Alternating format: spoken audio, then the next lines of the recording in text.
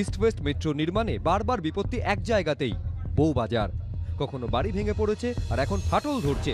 বিজেপির দাবি east west metro root পরিবর্তনের জেরেই এই বিপত্তি। সত্যিই কি রুট পাল্টানোতেই বারবার বিপর্যয় হচ্ছে? ইস্ট ওয়েস্ট মেট্রো রুট পাল্টানোর পরামর্শ কারা দিয়েছিল? কারা সেই পরামর্শ গ্রহণ করে রুট পাল্টেছিল? কেন রুট পাল্টানো হয়েছিল? প্রাথমিকভাবে ইস্ট ওয়েস্ট মেট্রোর জন্য যে রুট নির্ধারিত হয়, সেখানে বিবি গাঙ্গুলি স্ট্রিটের নিচ দিয়ে সরাসরি শিয়ালদা ও লালদিঘিকে জোড়বার কথা ছিল। দু হাজার আটে সাতাশে অক্টোবর সল্টলেক সেক্টর ফাইভ থেকে শিয়ালদা, বউবাজার, লালদিঘি হয়ে হাওড়া ময়দান পর্যন্ত প্রস্তাবিত সেই রুট অনুমোদন পায়। কিন্তু সেন্ট্রালের কাছে নতুন স্টেশন করা নিয়ে জমি জট তৈরি হয়। দু হাজার বারো সাল থেকে কেন্দ্র ও রাজ্যের মধ্যে এই নিয়ে চিঠি চাপাটি চলে। এরই মধ্যে সেক্টর ফাইভ থেকে শিয়ালদা অবধি হয়ে মেট্রোর কাজ থমকে যায়। দু হাজার চোদ্দ সালের পর মেট্রো রুট পরিবর্তনের সিদ্ধান্ত গৃহীত হয়। লালদিঘি থেকে এসপ্ল্যানেডে নিয়ে যাওয়া হয় মেট্রো সুড়ঙ্গ। সেখান থেকে সুবোধ মল্লিক স্কোয়ার হয়ে বিবি গাঙ্গুলি স্ট্রিট। কেএমআরসিএল সূত্রে খবর, এই রুট বদলের জন্য এক হাজার আটশো আটাত্তর মিটার অতিরিক্ত যাত্রাপথ তৈরি করতে হচ্ছে। আগের রুটে এই প্রজেক্টে খরচ হতো চার হাজার আটশো চুয়াত্তর কোটি টাকা, আর এখন হবে আট হাজার নশো ছিয়ানব্বই কোটি টাকা। অর্থাৎ রুট বদলের ফলে অতিরিক্ত চার হাজার একশো বাইশ কোটি টাকা খরচ হচ্ছে। মেট্রো রেলের যে প্রস্তাবিত রুট ছিল সেই রুটকে কাদের চাপের কাছে একটা বাধ্যবাধকতার মধ্যে মেট্রো রেল পরিবর্তন করতে বাধ্য করেছে? কলকাতাবাসী জানেন, প্রস্তাবিত রুট কি ছিল এবং বর্তমান শাসক দল এবং তৃণমূল কংগ্রেসের প্রবল বিরোধিতা।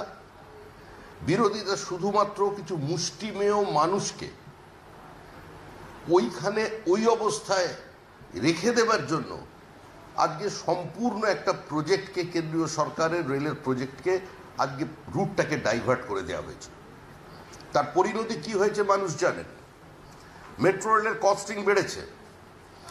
তুষ্টিকরণের রাজনীতি, তৃণমূলের রাজনীতি, বিভাজনের রাজনীতি, তৃণমূলের রাজনীতি দুধেল গাঁইদের বাঁচানোর রাজনীতি, তৃণমূলের রাজনীতি।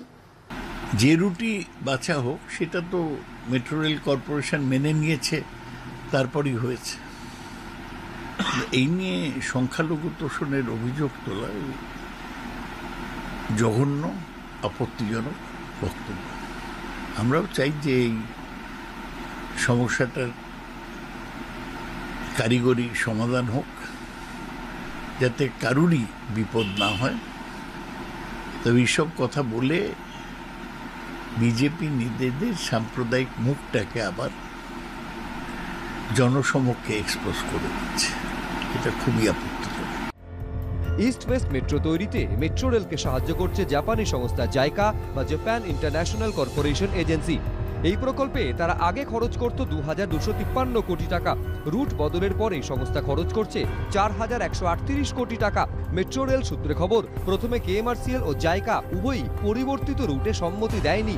পরবর্তী সময়ে নতুন রুটে মেট্রো চালানোর জন্য পৃথক সার্ভে করে জায়কা এরপরই রুট বদলের চূড়ান্ত সিদ্ধান্ত নেওয়া হয়।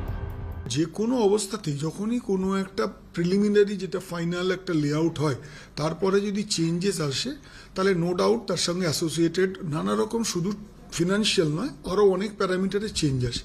টাইমের চেঞ্জ আসে পারমিশনের চেঞ্জ আসে সার্ভে অ্যাডিশনালি করতে হয়, ফলে নো ডাউট ফিনান্সিয়াল একটা অ্যাসপেক্ট তো পড়েই। কিন্তু বারবার বিপর্যয়ের পর তৈরি হওয়া বিতর্কের জেরে মূল প্রশ্ন হচ্ছে রুট বদল না হলে কি এই বিপত্তি এড়ানো যেত? পরিত্রিক ভট্টাচার্য, আশাবুল হোসেন, দীপক ঘোষ এবিপি আনন্দ।